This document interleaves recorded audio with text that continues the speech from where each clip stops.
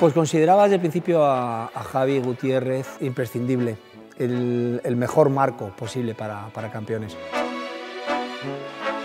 Porque Javier reúne o es capaz de transmitir, a mí me parece, de una forma muy poderosa los dos elementos más importantes de Marco, que son ternura y comicidad. ¿Teta y culo? Pues teta y culo no, por culo. Por... Ha conectado no solo con los personajes, sino ha conectado también con las personas que interpretan esos personajes. Los partidos, a tomar por culo los partidos. ¿Y el campeonato? También a tomar por culo el campeonato. Toma, culo. Yo tengo un hijo con una discapacidad, entonces me apetecía mucho eh, mm, eh, contar una historia así y trabajar con chicos con discapacidad. Creo que es un- una buena forma de, de acercar al espectador a este mundo tan, tan desconocido. ¿no?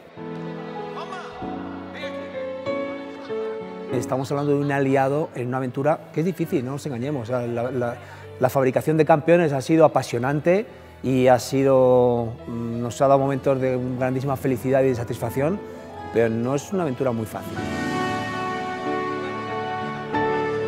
Tú estás trabajando y encima en una, en una puesta en escena tan coral, estás trabajando con personas que no son actores, que no conocen la técnica ni tienen la experiencia que tú tienes, en el fondo estás trabajando para ellos, estás trabajando, y en este caso creo que todavía más.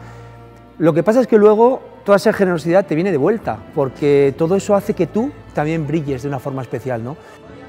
Fabián, jugamos en pick and roll para Sergio. ¿Lo can roll de qué? ¡El pick and roll! El, per- el, perso- el personaje que, que hace en la película, eh, Mar- eh, Marco, es un, es un entrenador eh, bastante eh, bueno. Venga, vamos allá, seguimos rodando. Estamos, Paula, echar una mano, di la verdad. ¿Cómo es Javier Gutiérrez? Es bajito. Y es gracioso. Oye, José, céntrate. Para trabajar con él ha sido maravilloso, vamos, para él y para nosotros. Bailar pegados es bailar. Dos bailarines.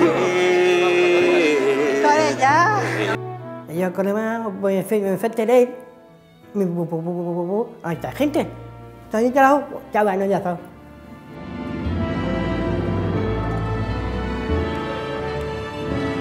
Decía, si no aprendéis bien el guion, no hay ni gamba ni jamón en Huelva. Aprenderse el puto guion que tenéis ahí.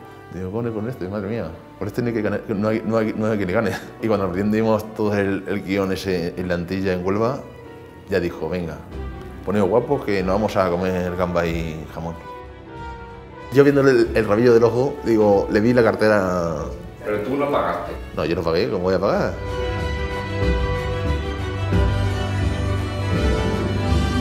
Pero bueno, se ha portado muy bien con nosotros y nosotros con él.